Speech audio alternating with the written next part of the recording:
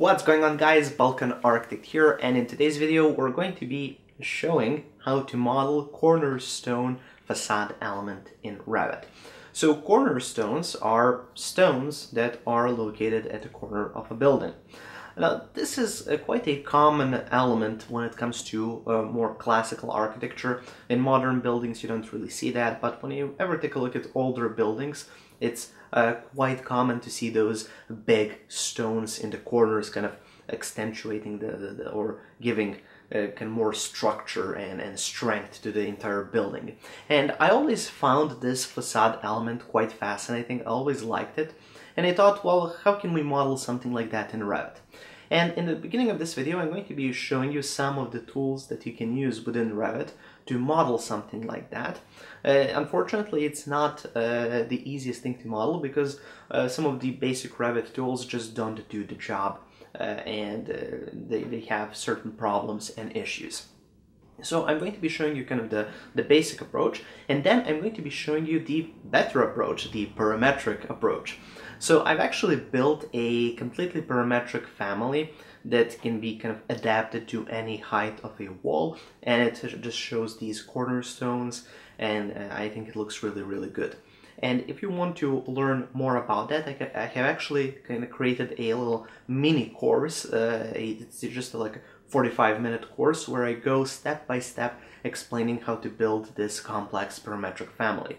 So if you're interested in uh, getting both that family and learning the uh, or getting the course, it's going to be available on my website balkanarchitect.com.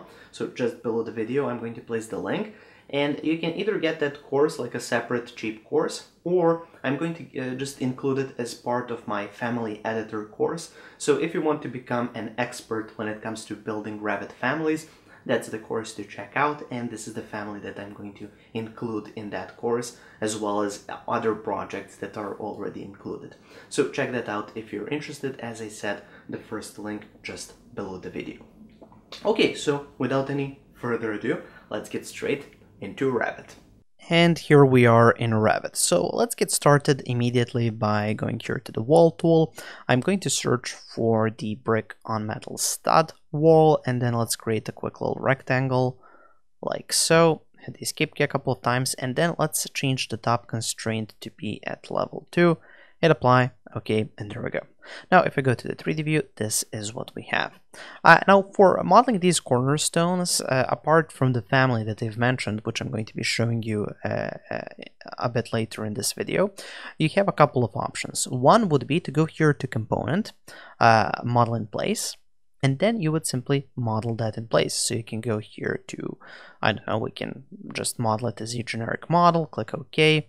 Uh, okay, again, and then you could uh, theoretically model that perhaps as a sweep. Uh, you can sketch a path like this. I don't know, something like that, and then you could add a edit profile and then just create that profile that you want to have. So something like, I don't know, 400 millimeters at a 45 degree angle, like so and then you can use trim and extend to kind of bring that together to finish. And there we go. So you can create something that looks like that uh, and then uh, you could uh, theoretically copy it as many times as possible. So you can select that. Uh, just make sure to set the work plane first. So go to create set work plane pick a plane and then select the vertical face. And then you can just kind of copy that upwards as many times as uh, necessary. So you can just Oops, gonna made a mistake there. Let's try that again.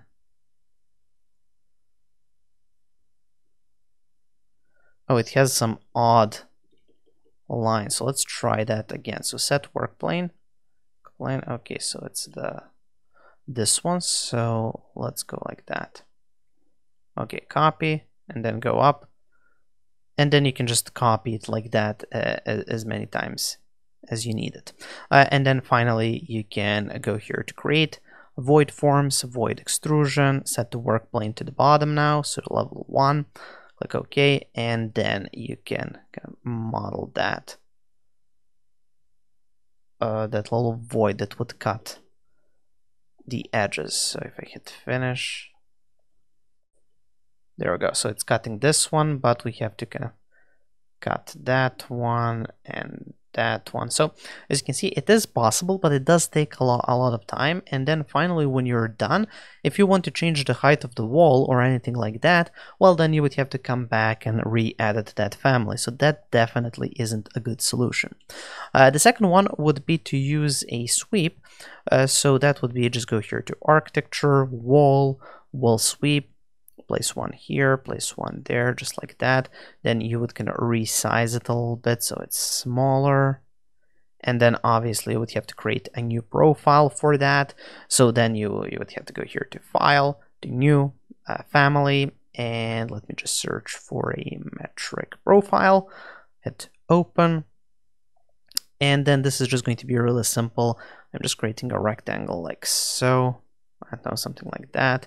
Again, set this at a 45 degree angle. Fix up the, the lines a little bit, and then you can just center it like so. Okay, so once we have something that looks like uh, this, uh, we can then use that profile. So here's our sweep. I can go into edit profile and then just change the profile here to that family see what that looks like now. And finally, for the kind of the edges, uh, you can just select the sweep, go to modify returns, set the angle at 45 degrees, and then when you cut, it looks like this. And as you can see, again, it's terrible and it's really hard to copy because it's not going to allow you to copy it upward. So you'd have to repeat that many times. So again, not a great solution. And then finally, let me show you the solution that I figured out, which is to model uh, this, let's see, uh, this entire family. So as you can see, this is a parametric array. It's adaptive, line-based. So if I just load this into the project, like that, there we go. Let's go to the 3D view. You simply come here close to the corner, come to the face of the wall, you click, you drag up, and there we go. We have our array. Uh, now, it's really hard to get it to corner, so usually you would just uh, place it like this uh, kind of a little bit towards the inside and then you just go to the modify tool use the align uh, tool and then you just align it. Let's see. Align the, the vertical line with that corner and there we go. Looks perfect. Uh, you can even uh, go ahead and try to lock that in place. Now it's uh, just like this. See how you lock it in place? And you can do the same thing on the bottom. And then if you select the wall all, or, or all four walls and uh, just change the height. Let's give it a top offset of 1000 millimeters. Then as you can see, this will extend with that wall as well, which is really useful. So uh, it's going to follow your wall. It's uh, just going to adapt to that wall uh, the, the way that you like. And of course, it's fully parametric, so you can select it. Uh, here you can go into edit type and you can uh, have a desired stone height. So if you want smaller stones, you can go to something like 200 and hit apply. See, now they're smaller, or if you want them larger, they can be larger as well. Let's try 600. There we go. It's going to go even up to something like that. Uh, also, you can play around with the lengths of the stones. So if this I set to 800, see, now this one extends. This one, if I set to 600, then that one will extend a little bit. There we go. So you can play around with all of this. Obviously, stone thickness is something that you can change. So it's completely uh, parametric, adaptive, and it just follows your wall. It's very easy to use, very straightforward. So this is usually the type of solution that you want to uh, find in Revit.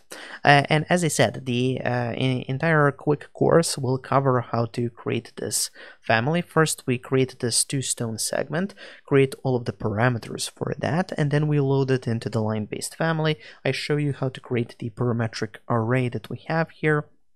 I show you how to connect the parameters from the kind of the nested two stone family to the main family. So you can control the parameters of the nested family through the main family. That's usually uh, a little bit difficult to set up, so I show you all of that. And then obviously the formulas that are required to make this work, I show you that as well, and the kind of the methodology that you would uh, want to use on a project like this.